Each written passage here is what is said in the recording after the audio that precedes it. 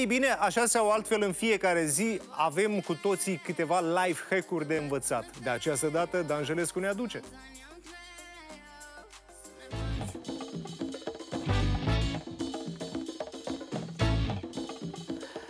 Într-o curte a unui boier la țară, o găină a luat un ou de jumătate de kilogram. Cum ai reușit? O întreabă celelalte găini. Secret de familie. Proiecte de viitor?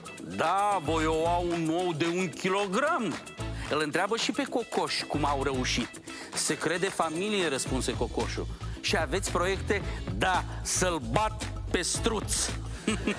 Noi astăzi vom testa trei modalități de a separa gălbenușul de albuș. Așadar, vom folosi o pâlnie. Încercăm. Ia să vedem. Îi dăm drumul aici și...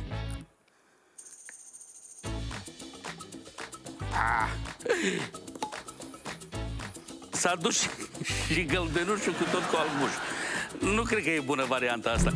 A doua variantă, deci avem nevoie de două recipiente. În unul am spart oul întreg, după care luăm sticla, creăm o bulă de aer. Asta mi-a reușit. Și îl punem în partea cealaltă. E voilà! E întreg, tânăr și nevătămat. Iar acum, altă variantă.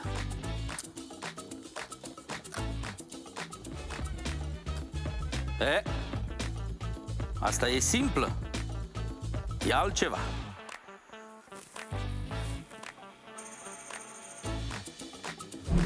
Așadar, prieteni, cu siguranță cea mai bună modalitate e aia cu sticla și asta primitivă. Să strecurăm albușul prin mână și să rămână doar gălbenușul.